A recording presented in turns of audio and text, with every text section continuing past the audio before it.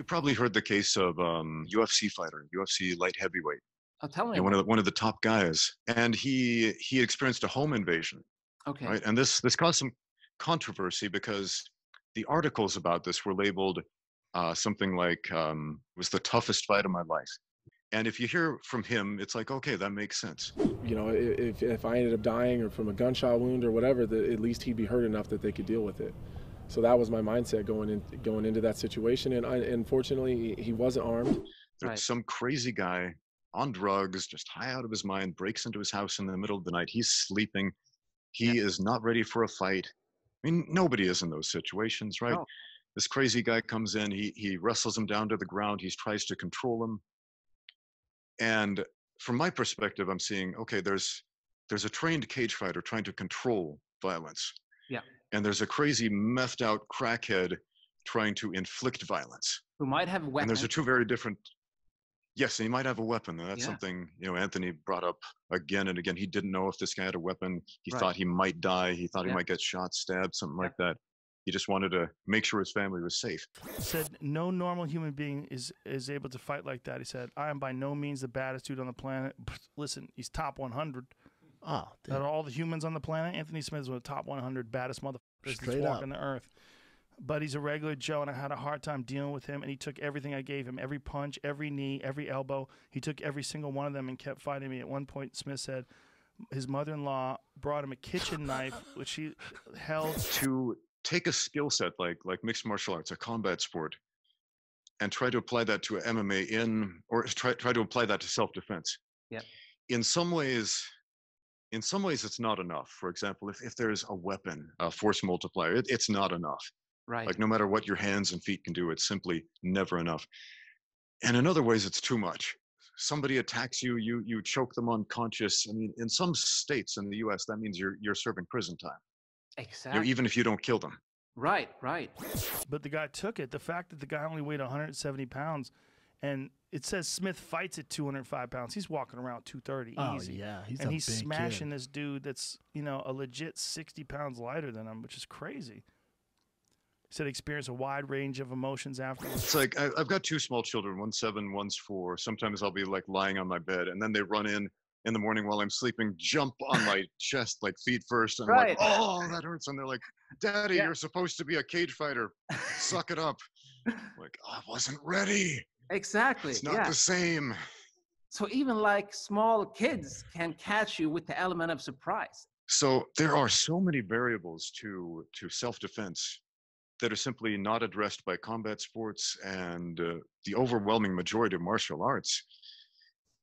Which is why when people ask me about self-defense, I generally say self-defense is a legal term. You want a self-defense expert? Talk to a lawyer. Yeah. Like find out what the laws are where you live, Right. and they will vary widely. Yeah. So, so I got to ask you, um, how much do people ask you about self-defense on on your YouTube channel? It's got to come into play, right? I mean, since the original purpose of karate is supposed to be self defense, then people who are interested in the origins or the traditional aspect, they always want to learn more about self defense and how to apply these esoteric moves that we do today the original way, right? But people who do modern sports based karate, Yeah. they might not be as interested. They might see it as an exotic hobby to learn how to use the moves in self defense, but they would rather just score points and become world champions, maybe. And that's a completely different skill set, right? And somehow I try to bridge Yeah. the gap between these two worlds because I call myself a karate nerd because I love to embrace all aspects of the art. And when I look and when I look at the kata, for example, you know the form, same as one would do in kung fu, for example Yeah, yeah.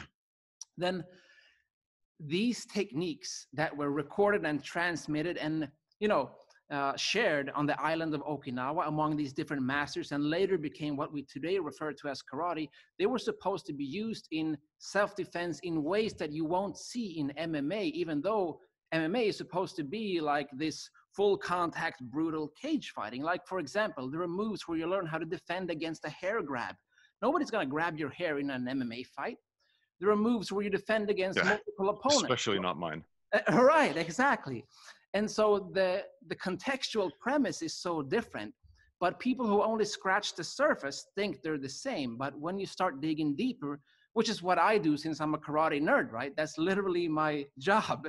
Then you start to see that, well, there are, there are differences, right? And I think that once you start exploring these differences, then you can truly learn the difference and understand how self-defense works because you also have verbal de-escalation tactics and situational awareness and all of these things that somebody who might experience a home invasion might not be prepared for even though they're a trained mma fighter just like you said you've tried a lot of these self-defense techniques with your mma fighters right what has the experience been from Yeah. those experiments Okay. Y- You know, most of them I can tell right away, like this, this is not going to work because you know I've, I've been in this massive variety of positions. I mean, you, you just spend like five minutes sparring, and you, you'll go through you'll go through hundreds of different positions. Yeah. Right. And if you've spent a hundred hours sparring, a thousand hours sparring, ten thousand hours sparring, you, you can see right away, like, yeah, that that's not the way pressure works. That's not the way Right. position works. That's not the way leverage works, right? But every once in a while, like there was this one, I I, I honestly began to question. There was this woman named uh, uh, Devi Stevens, and she actually has a pretty good self-defense channel. Like most of it is, I would say, pretty good information.